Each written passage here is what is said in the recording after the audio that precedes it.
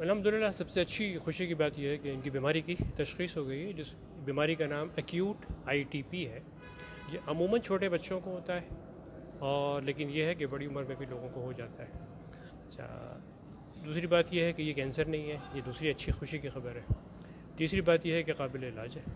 اور چوتھی بات یہ ہے کہ ان کا بون میرو جسے ہڈی کا گدا کہتے ہیں اردو میں، وہ اس کا کوئی کینسر نہیں ہے۔